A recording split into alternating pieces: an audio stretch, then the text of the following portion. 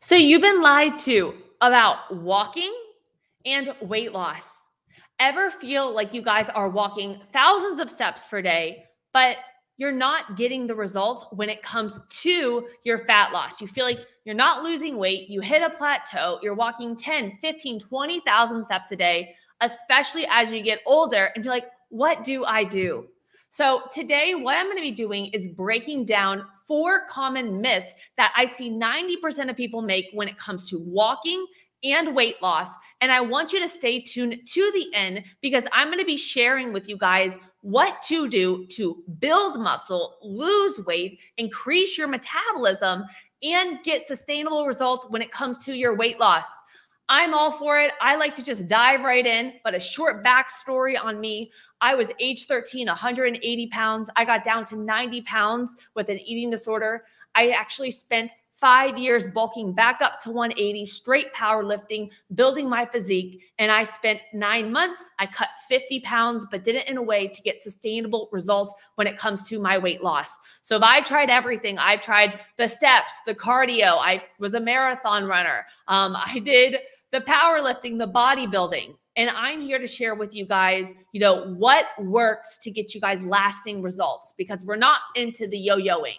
So we're going to dive right into it, guys. So when it comes down to it, walking does have a lot of health benefits, but there's a lot of other aspects that come at play when it comes to losing weight, but also building muscle because you guys can lose weight, but if we don't have enough muscle, and we're not doing the right thing with our calories and our nutrition, you may feel like you're left at that like skinny fat appearance. So we're going to break it down. We're going to go right into it. Here are my top three. I actually made four myths when it comes to why walking may not be the number one when it comes to weight loss.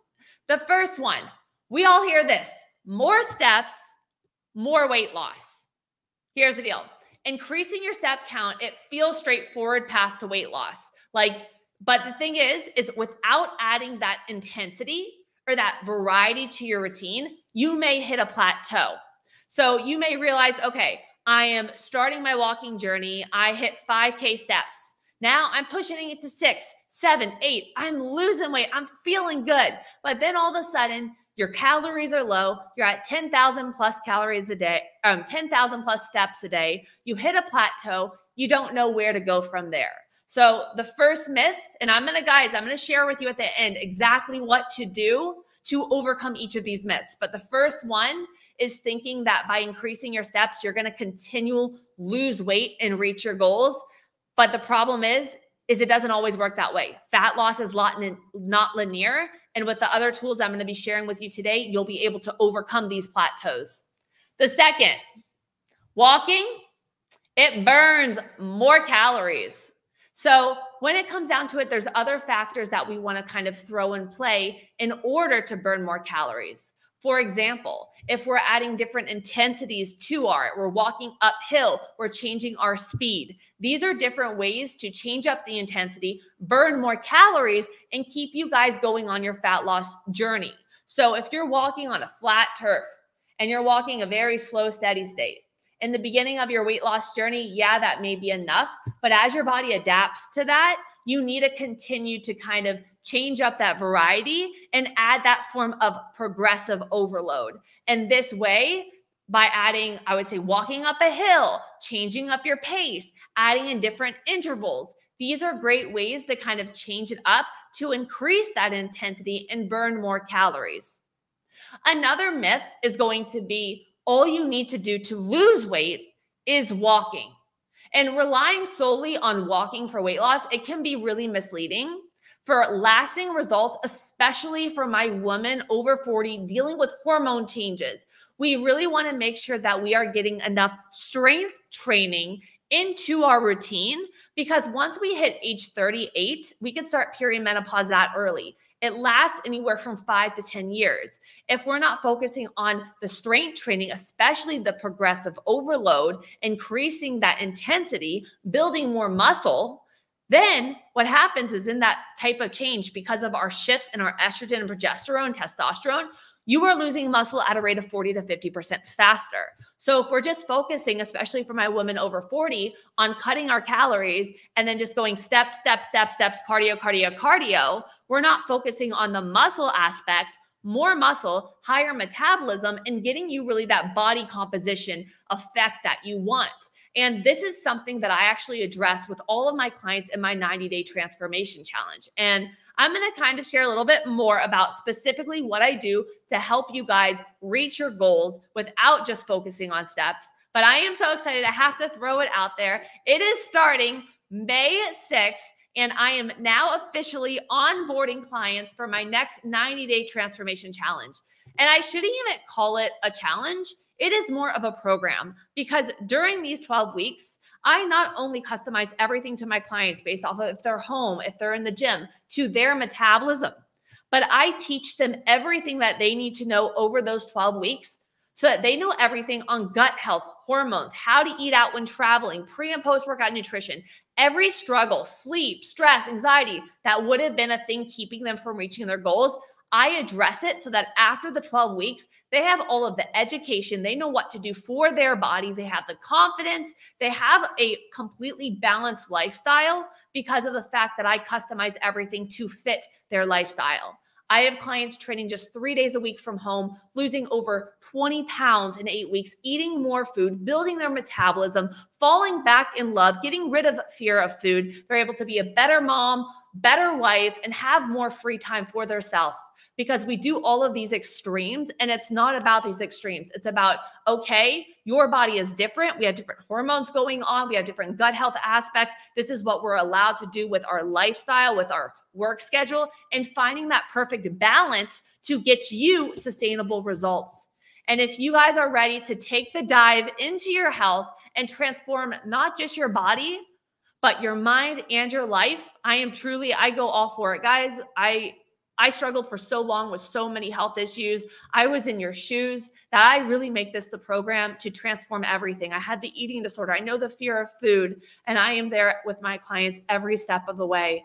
I want you to head to the description below. I want you to fill out my questionnaire. I will be in touch with you in the next 24 hours to set up a call to see if we're that perfect fit for my upcoming 90 day transformation challenge.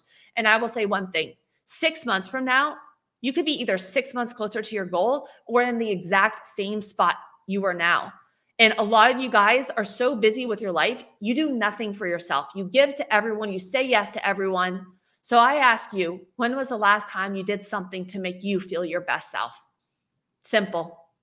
We're going back into it. The lie you guys have been told about steps for weight loss. So we kind of uncovered three main main main main Main myths. I'm going to break them all down and tell you guys step by step what to do. So, as I mentioned, a lot of us, we go into our weight loss journey. We start increasing our steps. We're getting outside, we're walking, we're at this more slow intensity, steady state. We're adding in steps in the beginning. We cut our calories, and you may initially that you're losing weight. But what happens is your body actually adapts to that caloric deficit and it also adapts to that current amount of steps. So, what you do is you guys stop losing weight you guys cut your calories more, you guys increase the steps more. Now you're working 10, 15,000 steps a day. You're on low calories. We're not sleeping good. And we have to make sure that we are looking at other aspects to keep you guys losing weight. As I mentioned, doing things like changing up the intensity, adding in hills, adding in intervals. These are great ways to kind of burn more calories and keep your body guessing. And especially for my woman, we, our bodies are meant to do this low intensity steady state. And we're not meant to do at the same time these hit crazy interval workouts, chronic cardio all the time. We have to find that perfect balance. So I like to incorporate, you know, getting enough steps so that we're not sedentary, which is 5K steps a day. And I'm going to link a whole video that I did above here on steps, how to walk to get shredded, how many steps you need, all of that. But our body, we got to find the perfect balance of getting enough movement in the day so we're not sedentary, but also adding in those bursts of interval trainings and changing it up to shock our cardiovascular system and burn more calories without stressing out our hormones.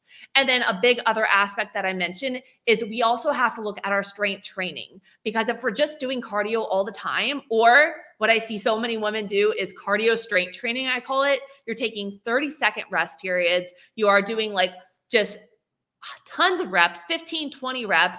You're not giving your body that true strength training to build that lean muscle mass or you're changing up your program every single week. These aren't the things that are going to get you your results. They may have worked in your 20s or if you're a beginner but as you hit your 38 40 plus and our hormones are different your body needs to be training different. We have to work smarter versus harder and then one other thing is we do have to look at our nutrition because a big aspect that I see so many women not get is enough protein and the right amount of macronutrients.